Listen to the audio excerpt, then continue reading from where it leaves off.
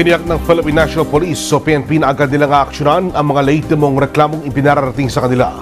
Itong inayag ni Senior Superintendent Leonardo Carlos, tagapagsalita ng PNP kasunod na ikakasang hotline ni Pangulong Rodrigo Duterte para sa iba't ibang sumbong ng publiko.